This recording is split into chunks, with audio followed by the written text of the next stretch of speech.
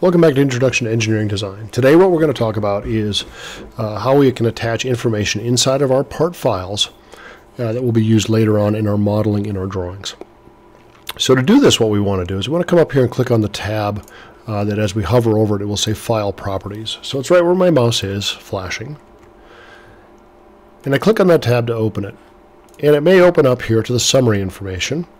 Uh, you can type things in here and use those later on, though we're going to focus on the Custom tab. So click on that middle Custom tab. I've uh, played with this a little bit before, so yours may be blank. I've got a few things in here.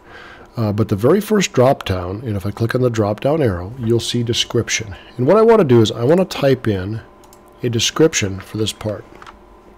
And because it's part of the puzzle cube, I'm going to call it the puzzle cube brown part. And we're going to use that as the title for our drawing. You'll see how we'll do that as we move into our drawings.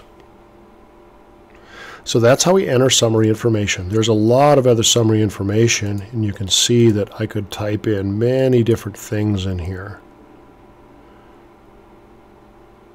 And it's contained as information attached to the part that can be used by any subsequent assembly or drawing. So what I'll want you to do is I'll want you to type that in, click on OK, and then save your part. And you'll want to do that for all five of your puzzle cube pieces. I hope that helps. Thanks for watching.